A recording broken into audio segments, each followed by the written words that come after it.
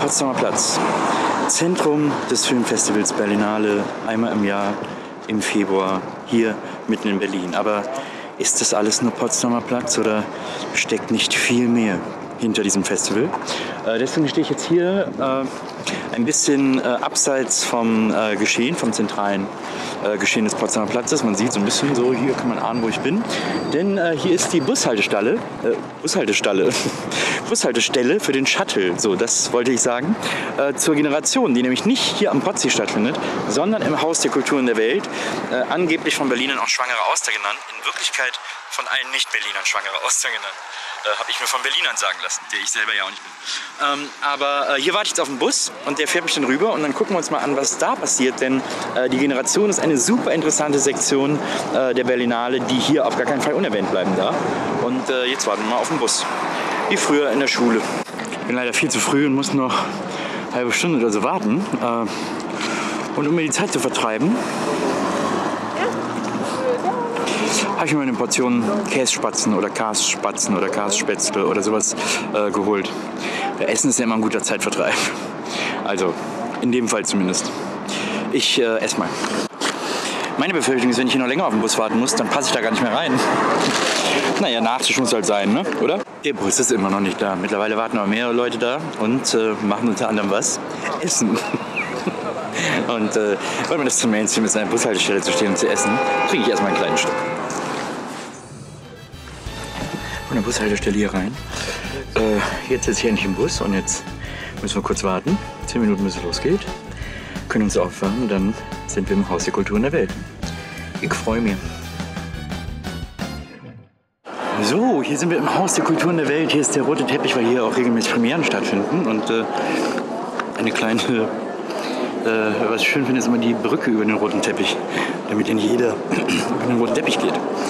Ähm, aber, so, aber wohl über die Brücke des roten Teppichs. Da sieht man immer die Galerie der Filme, die hier im äh, Generationenwettbewerb laufen. Und äh, die Frage ist natürlich, was ist das überhaupt äh, Generation, Generation Plus, Generation 14 Plus? Ähm, das ist sozusagen das Kinder- und Jugendfilmfestival oder diese Kinder- und Jugendsektion der Berlinale. Äh, das hört sich immer ein bisschen an nach Barbie und der Zauberprinz, aber das ist natürlich gar nicht, denn wir sprechen hier immer von der Berlinale. Und äh, ich muss tatsächlich sagen, dass ich in den letzten Jahren festgestellt habe, dass für mich die Generation mit das, äh, die best kuratierte Sektion der Berlinale ist oder zumindest die mir mit am besten gefällt. Ich finde ähm, Filme, die ich in der Generation gesehen habe, immer super interessant, super spannend, super aufregend.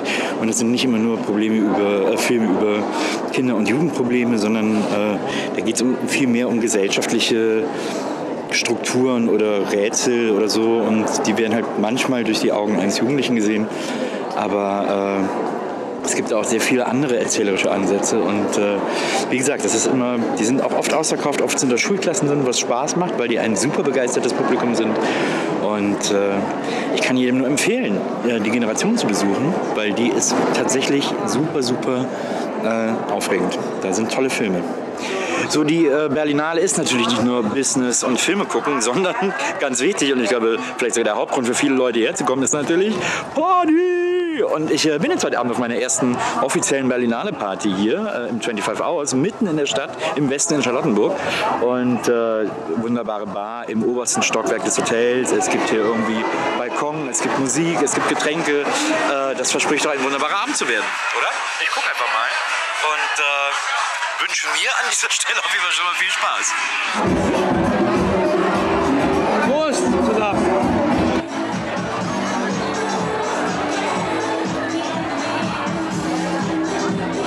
Das war's hier äh, mit der Shooting Stars Party. Ich und mein Goodie Bag, mein Goodie Bag und ich, wir gehen jetzt nach Hause, ähm, denn morgen ist ja auch noch ein Tag. So ist das hier auf der Berlinale Party, aber früh wieder aufstehen, denn äh, es wollen ja Filme geguckt werden und äh, die Berlinale entdeckt werden. Insofern verabschiede ich mich mit einem wunderschönen Gute Nacht. Der Rotwein war lecker. Äh, auf Wiedersehen. Bis morgen. Tschüss.